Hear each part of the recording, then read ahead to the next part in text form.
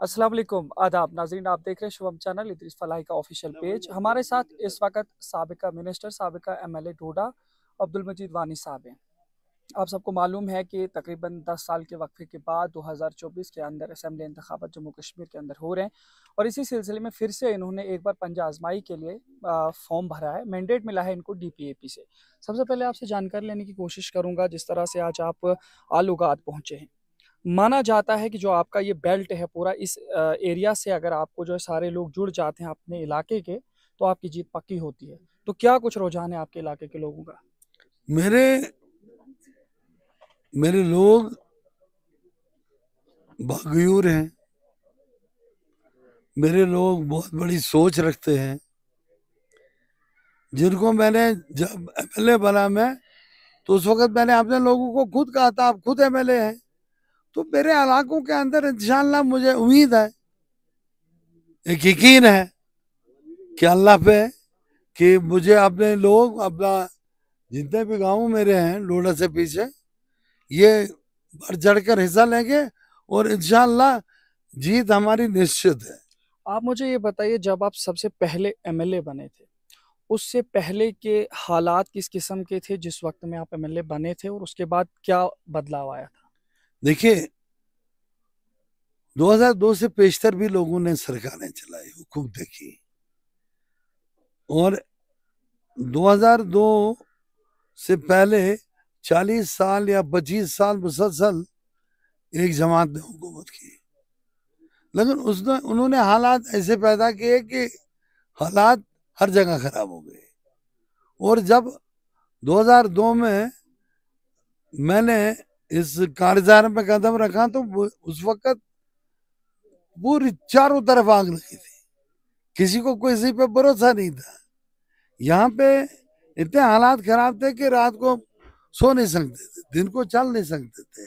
तो हमने कोशिश की, लोगों ने एक विश्वास जताया कि हमें कुछ नहीं चाहिए, सुकून नहीं चाहिए, हॉस्पिटल नहीं चाहिए, कोई काम नहीं चाहिए, सड़क नहीं चाहिए। मर माहौल को ठीक कीजिए।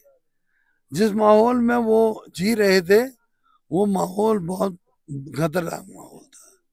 तो लोगों का डर था, दहशत थी।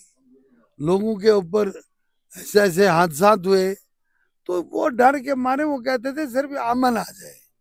अमन ही एक उनका एजेंडा था, लेकिन अल्लाह ताला का वादा उन्हें मुझे भरपूर मदद दी आपको नहीं लगता है जिस वक्त आप कह रहे हैं अमन की बात, उस वक्त ये बात आवाज़ें उठती थी गाँव और शहर के दरमियान की पॉलिटिक्स जो है, लीडर्स क्या करते थे?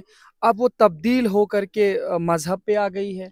अब लोग मजहबी पॉलिटिक्स कर रहे हैं। तो एक बार आपने उस वक्त टक्कर दी है, अब फिर से आप जो है टक्कर देने जा रहे हैं, लेकिन उस वक्त गाँव शहर की बात थी, अब मज़हब की बात है। तो किस तरह से आप इस पॉलिटिक्स को आगे लेके देखिए, ये उन, उन्होंने कहा था कि गाँव और शहर, हमने नहीं किया था। हमने शहर को भी उतनी तरक्की दी, जितनी गाँव को दी।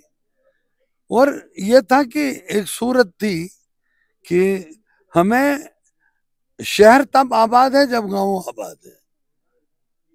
इकानमी तब आपकी बूस्ट होगी जब गाँव के लोग शहर जाकर काम करेंगे या शहर के लोग गाँव में आकर काम करेंगे। उसे एक कनेक्टिविटी जो बेसिक इंफ्रास्ट्रक्चर है वो कनेक्टिविटी का कंप्लीट हो, ताकि साधन तैयार हो रिसोर्स तैयार हो। तो आज अगर हमारे इलाकों में सड़कों का जाल अल्लाह के फजल आजमत से मैंने बिछाया, जब 2002 से पेशतर कनेक्टिविटी पाँच पॉइंट कुछ परसेंट थी, आज तो सतासी पॉइंट कुछ परसेंट है। तो आप अंदाज़ा लगाइए कि उस पाँच परसेंट से सतासी परसेंट पर 2014 तक मैंने पहुंचाई तो उसमें हमारा कमाल कितना है और उनका कमाल जवाल कितना है। तो इसके साथ आज अगर हमारे उगाद में यहाँ से अखरोट कोई ले, ले जाएगा वो यहाँ से गाड़ी में ले जाएगा। मैंने आपसे पूछा था अब मजहबी पॉलिटिक्स चल रही है इसको कैसे रोकेंगे? नहीं देखिए मजहबी आज ये ये कोई ये मामूली फ़ेज़ होते हैं टेम्परेरी फेजेस होते हैं। लेकिन ये नुकसानदेह भी साबित हो सकता है। नहीं नुकसानदेह तो होते हैं लेकिन आपने आप लोगों को अकल आ गई। लोग सीख गए कि इन दंतों में सियासत में जब यहाँ लोग बसते हैं तो उनमें हिंदू, मुसलमान, सिख, ईसाई हमारा भाईचारा है। हमारी संस्कृति एक, हमारा उठना बैठना एक, हमारा रहन सहन एक, हमारा उसी गाँव में कब्रिस्तान, उसी गाँव में शमशान। तो ये चीज़ें कुछ लोग बाहर से आते हैं तो माहौल का खराब करने की कोशिश करते हैं तो उससे कोई फ़र्क नहीं पड़ता।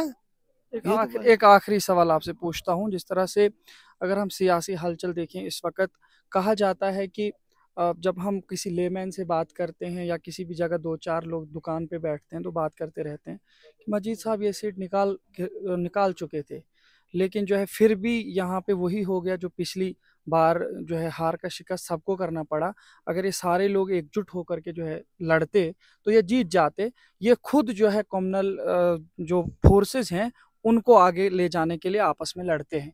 तो क्या लगता है आपको इन तमाम चीज़ों में आप इन सभी लोगों के साथ किस तरह से आगे बढ़ सकते हैं? देखिए, मैं आपको बताऊँ, हर एक की अपनी सोच है। हर पार्टी का अपना एजेंडा है। मेरे, मेरा कायद मेरा गुलाम नबी आज़ाद साहब है। तो मेरा लीडर गुलाम नबी आज़ाद साहब है। गुलाम नबी आज़ाद साहब का साफ़ विजन है। उसमें कोई कंफ्यूजन नहीं है। इनके ऊपर इन, इन ये कंफ्यूजन के शिकार हैं। तो आप मुझे बता दीजिए कि इस वक्त गुलाम नबी आज़ाद साहब की सोच क्या है? उनकी सोच है कि बेरोजगारी इस वक्त अरूज पे है पढ़े लिखे नौजवान हैं और उनको वो गलत रास्तों पे चल गए हैं। यहाँ ये जो लोग हैं इनको सोचना चाहिए कि अगर किसी भी इलाके में हम गलत सोच लेके जाएँगे तो वो एक नुकसानदेह चीज़ होगी आने वाली संतान के लिए, आने वाली पौध के लिए, क्योंकि गलत रास्ते हैं और नशे की लत की तरफ़ हमारे बेरोजगार नौजवान हैं। तो इस वक्त हमने कोशिश करनी है कि उस लत को खत्म करने के लिए हम लोगों का जामिया प्रोग्राम वो गुलाम नबी आज़ाद साहब का है। बाकी पार्टियों का क्या है कि ये मैं किस हिसाब से कहूँगा? अगर मैं बात करूँ नेशनल कॉन्फ्रेंस की, मैं बात करूँ कांग्रेस की, मैं बात करूँ बीजेपी की तो कांग्रेस और नेशनल कॉन्फ्रेंस खुद ब खुद कंफ्यूजन के शिकार हैं। अलायंस से फ्रेंडली आ गए। तो फ्रेंडली अभी तक लफ्ज ही कहीं नहीं है। तो वो क्या लोगों को बेवकूफ़ बना रहे हैं? कुछ अंदरूनी सोच आ रहे कि इनके अलायंस का कोई कैंडिडेट आपके साथ अंदर से मिल रहा है कि वो भी आपके लिए ही सपोर्ट करेगा? अगर मिलेगा तो मैं उसको वेलकम करूँगा। आ जाए। मेरी सपोर्ट करे। तो मैं, जो अगर मैंने दस कदम चलना होगा, मैं पाँच ही चलूँगा। पाँच को तो चल ले। तो चलिए स्कूल कॉलेजेस के हवाले से बात करेंगे। कहा जाता है कि आपने काफ़ी सारे ब्लॉक्स, तहसील्स अपने टेनवर में लोगों को दिए। लेकिन अब जो है इनकी खस्ता हालत भी है, बिल्डिंग्स की स्ट्रक्चर कहीं नहीं है। दूसरा ये है कि दूसरा ये है कि जिस तरह से आप देख रहे हैं कि स्कूलों के अंदर स्टाफ पूरा नहीं है। तो अगर पूरा इलेक्शन कंप्लीट होने के बाद आप जीत जाते हैं तो इनके लिए क्या करेंगे? लेकिन उस निज़ाम की तब्दीली तब्दीली में बहुत सारे मुश्किल लोगों का दरपेश है। कहीं काम नहीं है मनरेगा कहीं नहीं है। जो मजदूरी लोगों को गाँव के अंदर मिलती थी, एक एक सपोर्ट थी। मनरेगा खत्म है। पीएमए वाई में कुछ मकान आए, कुछ मकान नहीं आए। और कुछ जहाँ पे इलाके में बिहार जेब आता था, वो कहीं नहीं है। फोर्टीन एफ़ तक ये चला। उसके बाद बंद हो गया। अब हमारा ये है कि स्कूल में स्टाफ नहीं है हॉस्पिटल में स्टाफ नहीं है। यहाँ हर एक इलाके के अंदर मैंने देखा कि लोगों ने बार बार एडमिनिस्ट्रेशन को कहा कि स्कूल में स्टाफ नहीं। हेडमास्टर यहाँ उगाद हाई स्कूल में हेडमास्टर तक नहीं है। बदकिस्मती का शिकार हम सब लोग हैं। तो अगर मुझे मौका देंगे, इंशाल्लाह ये काम तो कर रहे हैं मैंने। तो मैं गाँव गाँव जाके, पंचायत पंचायत जाके। इसका रिव्यू फिर उस वक्त करूँगा। पहले तो ये मुझ पर एतबार तो करें। पहले तो ये मुझे वोट करें। मुझे किसी मुकाम में लाए। फिर मैं अपनी रणनीति के बारे में आप लोगों से बात करें। चलिए, बहुत शुक्रिया। हमारे साथ बात कर रहे थे डेमोक्रेटिक प्रोग्रेसिव आज़ाद पार्टी के जो कंटेस्टेंट कैंडिडेट हैं 52 कॉन्स्टिट्यूंसी डोडा से, अब्दुल मजीद वानी साहब। क्या कुछ आप कहेंगे? तबसरे में बता सकते हैं। देखते रहे शुभम चैनल इद्रिस फलाई का ऑफिशियल पेज देखते इजाज़त दीजिए अल्लाह